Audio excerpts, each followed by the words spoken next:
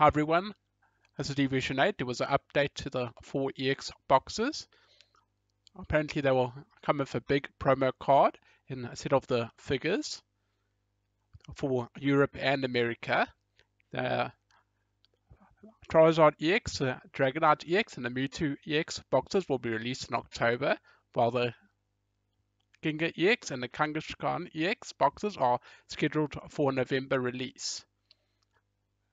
Hopefully we get a look at the box art soon. Thanks so much for watching this video. Please like and subscribe. Thanks so much. Goodbye.